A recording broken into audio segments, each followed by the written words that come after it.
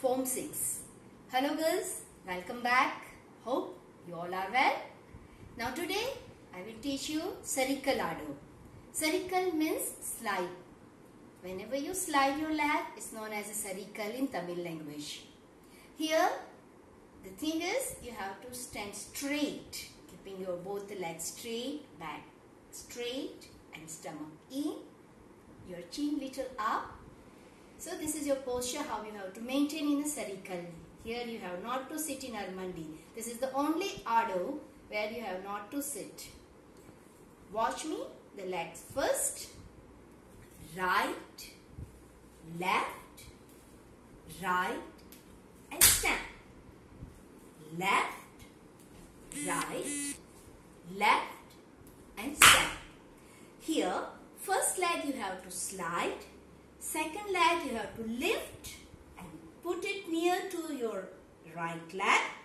Now, as we are doing right side, you have to stretch out your right leg. Remember, not too much, only near your left leg thumb. Till that your heel should be touched.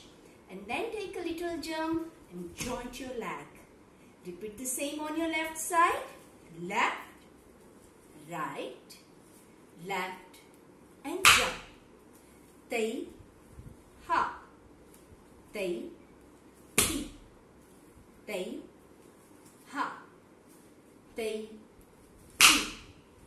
One, two, three, four. One, two, three, four.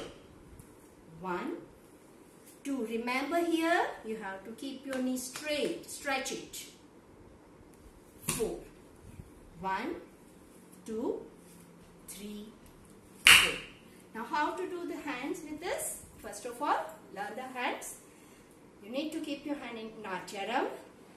Take your right hand first. Keep the both the pataka first. One, two, three, four.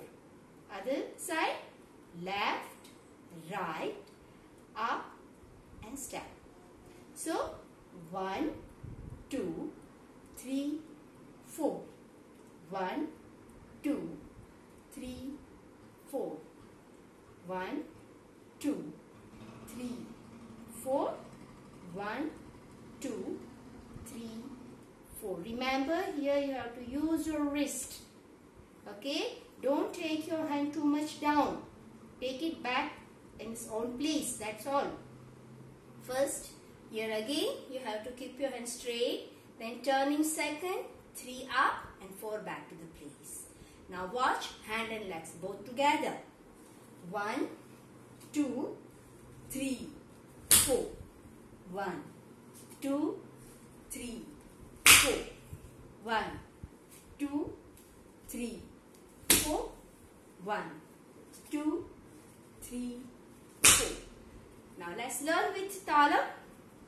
Tai, ha, tai, hi, tai, ha, tai, hi, tai, ha, tai, hi, tai, ha, tai, he. Do practice of this step at least 30 times. Thank you.